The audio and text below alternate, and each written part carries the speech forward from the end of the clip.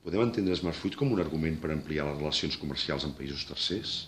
No només. A mi m'agradaria que l'Smart Fruit es, es, es vegués, es, es conceptualitzés, s'entengués com una doble dimensió que des de Catalunya, des del nostre país, voldríem traslladar a tot el sector de tot el món.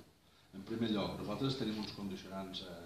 de sostenibilitat que nosaltres som els primers en voler assumir-los. Els productors estan molt disposats a poder fer aquelles experiències, a poder fer aquells intercanvis d'informació que permeti produir aquell producte amb la major qualitat, amb major respecte al medi ambient i a la sostenibilitat i sobretot també després amb la voluntat d'intentar que sigui un producte amb seguretat alimentària. Per tant, aquest és un bloc molt important que l'any passat vam començar amb l'Smart Fluid que crec que va tenir molt èxit i que el que voldríem és que això es reforcés en aquestes properes eh, edicions de tot el món. I en segon lloc, nosaltres tenim una vocació i una voluntat ferma d'intentar obrir els nostres mercats.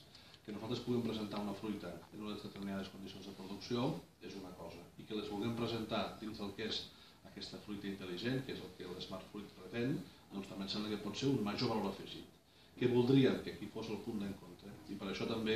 aquesta segona part d'aquest Smart Fruit està vinculada als negocis, al que són les trobades bilaterals entre els exportadors, entre els importadors i entre els productors per fer possible que hi hagi una xarxa que a tot el món puguem estar